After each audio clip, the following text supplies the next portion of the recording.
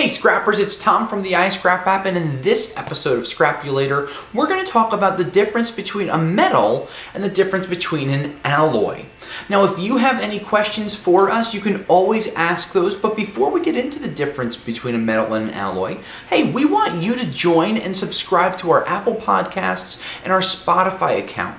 This way you always know when our podcasts are coming out, you can learn about them, listen to them on your drive to and from the scrapyard, and hopefully we can help you make more money with your scrap. Now this podcast came about because a scrapper asked us, hey, we heard about alloys before, why are they so different than metals?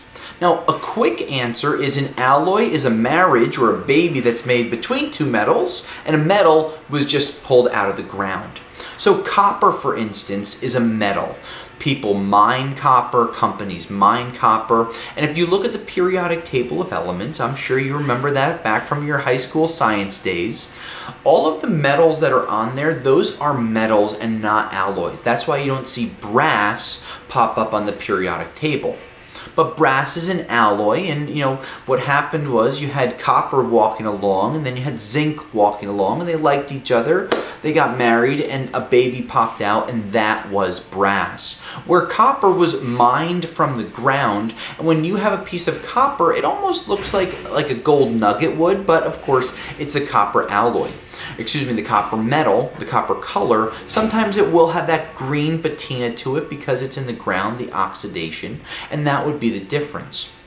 Now, with copper, with other items like iron, these are not always what people need to make buildings, to make electronics or things like that. So they needed to create these alloys.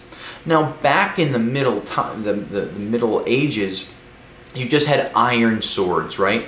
And as things progressed and they, they were able to figure out chemistry and work with things, things people like blacksmiths, they started to come in and they started to experiment taking different types of metals, melting them together, and, and even dates back to the Roman ages where they were starting to take copper and they were fooling around mixing it with gold and silver and these other types of metals just to see what would happen. Now, alloys that you might deal with in the scrap industry, a perfect example, stainless steel. Stainless steel is primarily made of iron, believe it or not. Between 60 and 80% of regular 304 stainless is going to be iron, but you're going to have another metal in there, nickel. So now when you have nickel and iron combined, you have a really strong metal, stainless steel, whether it's 304 or 316, 303, 300 series, 400 series. There's many different types of stainless alloys, and they're all used in different applications. Some of them need to be a higher temperature alloy that can uh, you know withstand higher heat or It'll be in a hospital where they'll use a lot of stainless steel pipe because it's clean and surgical tables are stainless steel because they don't have germs sticking to them a lot. That's where you might see stainless steel applied. Now with like a 316 stainless, it might be purely medical. Some different operators will use it when they build airplanes. But when you have items like chromium and nickel and iron all meshed together inside of these different chemistries, they figured out what works well together. And I'll give you an example of an alloy that you could use every single summer, and that's your stainless steel grill.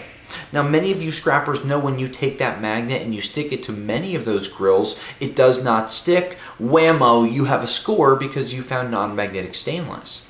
But some advertisers say that they have, you know, stainless steel grills, they just don't tell you what the grade is. And when you hit it with your magnet, while it doesn't rust, it will stick, and then you have a 400 series. So that 400 series was made with a higher concentration of iron, which made it cheaper to produce, but they still were able to put enough nickel in there where it didn't rust.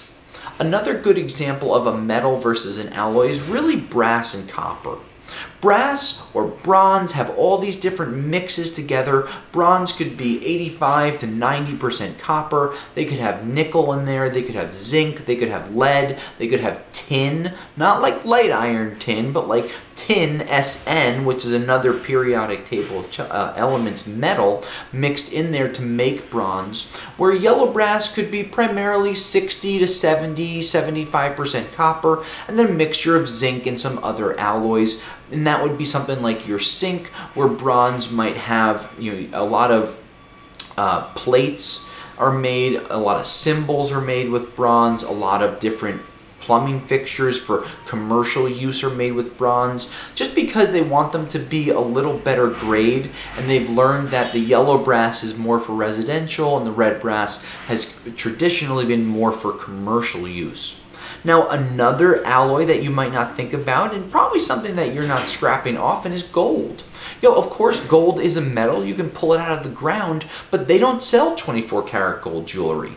Why? Because it would be too soft. If you put a 24 karat ring on, it would be really flat really quickly because gold is such a soft metal.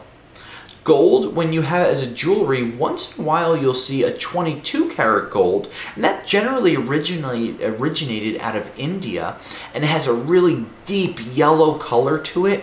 It's really beautiful, but when you add more and more alloys and more metals into that gold, that's when you go from a 22 to an 18, down to a 14, even a 10 karat, and that could be mixed with copper, silver, Sometimes white gold will be coated with rhodium, which we've talked about from catalytic converters. But jewelry is generally not going to be just one type of metal. It's generally going to be an alloy.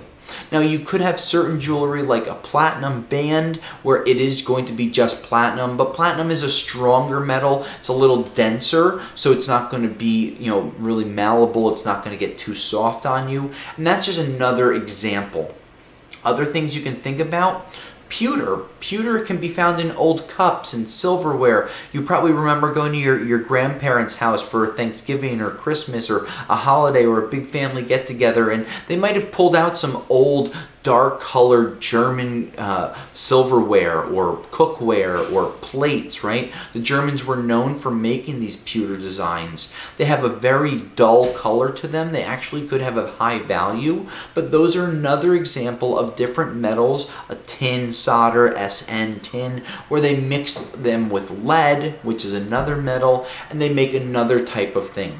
So alloys and metals, they're not always easy to figure out, but if you start to look at them and say, did this come from the ground? Just ask that question. Have you ever heard of a mining operation for brass? No, but you've heard it for copper or silver or gold or platinum, palladium, rhodium, iron, right? Iron continues to be the most abundant metal on the earth, probably why it's the cheapest. It's also one of the strongest, so it helps out really well. But even iron can be combined with other alloys when they make I-beams because they want to be able to make it non-corrosive. They want it to last longer, so when you're building skyscrapers or power plants or large structures, by putting a little bit of an alloy mix in with that iron, it could be nickel or a couple of other different ones, it just strengthens it up Another good example would be galvanized steel, where it's iron based, but it's coated with zinc because the zinc will make it